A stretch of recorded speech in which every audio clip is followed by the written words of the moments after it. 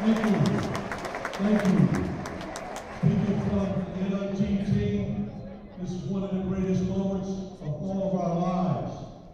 And being here at Bonaventure, it feels really, really great.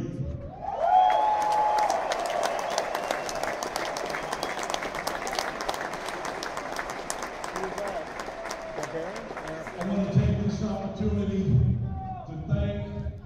the Franciscans, the teachers, the community